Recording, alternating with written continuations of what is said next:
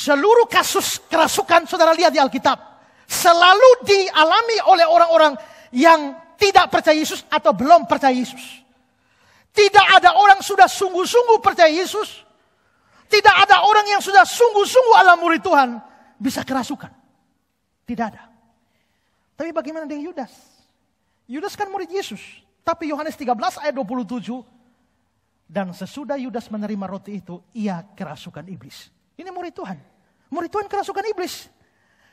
Yudas memang murid Tuhan, tapi dia tidak pernah sungguh-sungguh percaya Yesus. Tahu dari mana? Yohanes 6 ayat 64. Tetapi di antaramu ada yang tidak percaya. Sebab Yesus tahu dari semula siapa yang tidak percaya dan siapa yang menyerahkan dia. Yang menyerahkan dia itu kan Yudas. Tapi Yesus tahu Tahu siapa yang tidak percaya.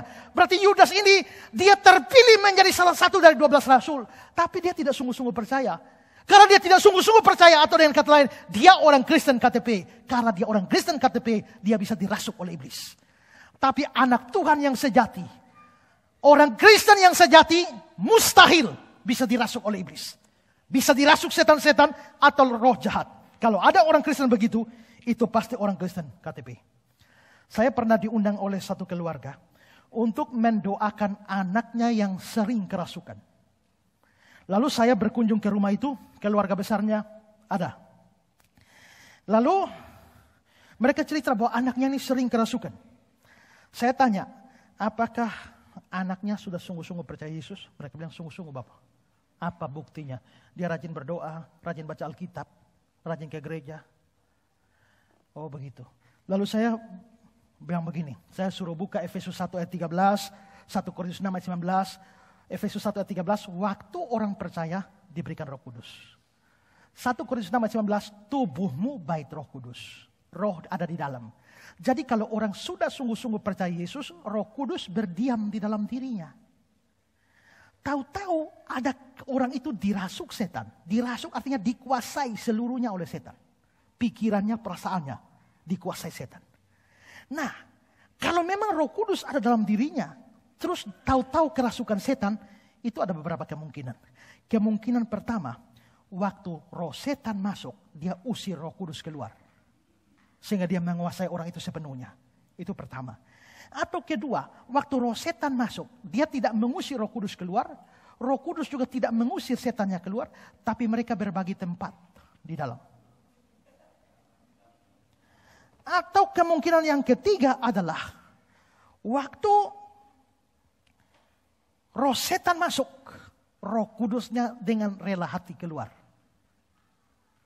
Atau kemungkinan keempat, memang roh kudus tidak ada di dalam. Mana lebih mungkin? Kalau dikatakan kemungkinan pertama roh kudus dalam, terus roh setan datang mendesak roh kudus keluar. Masa roh kudus kalah dari setan? Tidak bisa diterima. Kedua, mungkin mereka masuk dan berbagi tempat? Tidak mungkin.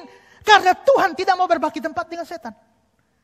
Atau kemungkinan ketiga, pada waktu roh kudus, uh, roh setan masuk, roh kudus dengan rela hati keluar.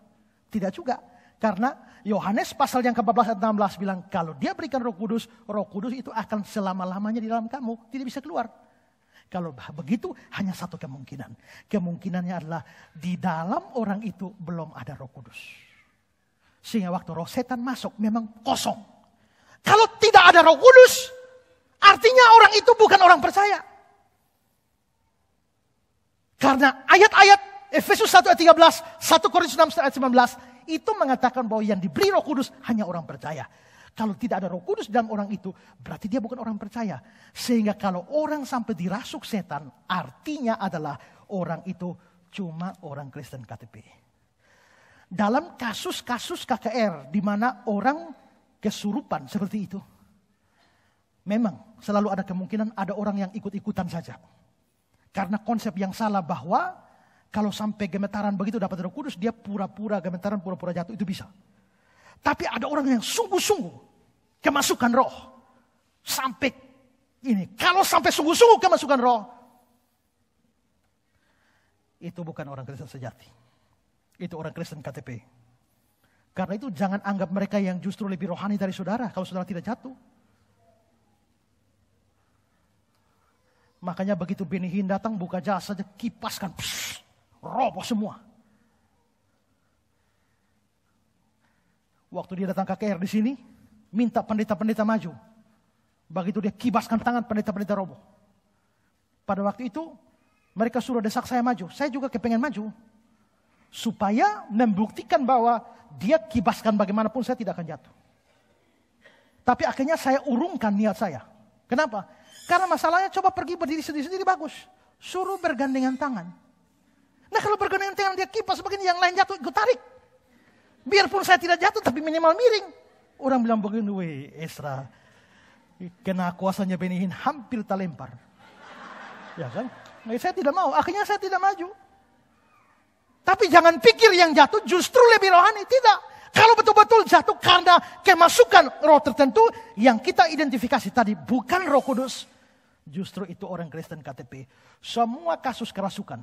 Karena itu kalau saudara sampai bertemu dengan orang sampai kerasukan roh jahat. Ingat, dia bukan orang Kristen sungguh-sungguh. Begitu dia saudara bisa usir setannya. Atau tunggu dia sadar injili dia. Maka dalam cerita saya tadi, setelah itu saya beritakan Injil kepada anak ini sekaligus dan keluarganya. Dan semuanya terima Yesus. Setelah itu tidak pernah ada kasus kerasukan di rumah itu lagi. Ya, karena itu hati-hati saudara. Bahwa hati-hati bahwa setan bisa menipu kita dengan berbagai macam fenomena yang ada.